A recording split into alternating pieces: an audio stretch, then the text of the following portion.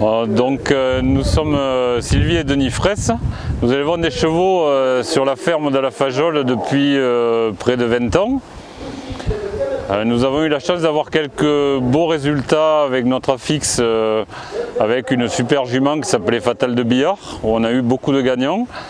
Et on a là un produit d'une jument qui est en fait la première jument arabe qui est née chez nous, qui s'appelle Taïza Fajol qui euh, fait partie de, euh, de, enfin, qui est surtout issu de euh, l'élevage espagnol avec un ami Didier Cabrol qui nous avait fourni une saillie de Baliza.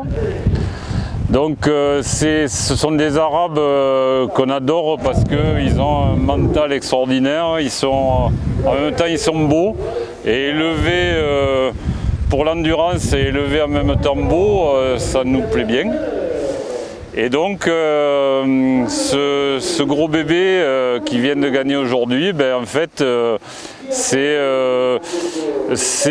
l'élevage du sud, de la France qui et de ses compétences qui aboutit à, son succès. Parce qu'en fait, donc la saillie, c'est une saillie d'un étalon qui est né à, euh, quelques dizaines de kilomètres de la ferme de la Fajole qui est née sur le Larzac, du Saïd à la Joue. Euh, la jument est une fille de Persique et donc on fait partie du groupe d'élevage de Persicland. Et puis on travaille euh, main dans la main avec Stéphane Chazelle depuis pas mal d'années. Donc voilà, les compétences de Stéphane, la cavalière, c'est la fille de Stéphane Chazelle. Euh, donc voilà comment l'élevage euh, avec euh, une chaîne de compétences sud de la France, même bon, on pourrait dire Larzac-Cévennes, arrive à aboutir à des très beaux et bons chevaux. Voilà. Ce champion, il est fort possible qu'on le vende, hein, c'est bien évident. et l'avenir, ben, ça reste très aléatoire actuellement. Quoi, hein, de toute façon, la concurrence est très rude et aujourd'hui, ça n'a pas du tout, du tout été facile de gagner. Il fallait, euh, il fallait miser, euh, il fallait sacrifier un, autre poulain euh, qu'on savait probablement un peu moins bon en cœur. Mais pour que, pour que Fils ne soit pas stressé et puisse avoir le point cardiaque, donc on les a fait rentrer très très très vite en sachant que probablement un des deux sauterait.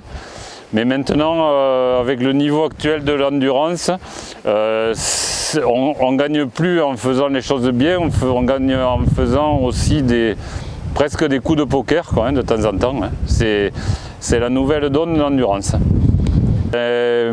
Euh, merci à, tous ceux qui ont participé à ce succès. Hein. C'est ben, les naisseurs du père, de l'étalon, euh, le propriétaire actuel, Romain Laporte, euh, l'entraîneur euh, Stéphane Chazelle et son équipe, et la fille de Stéphane qui l'a parfaitement bien monté.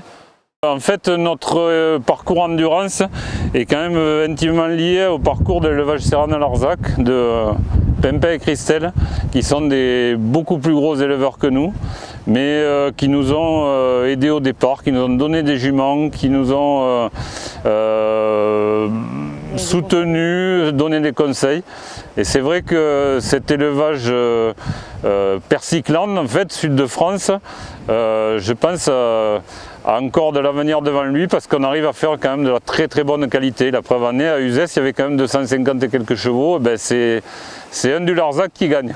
Voilà.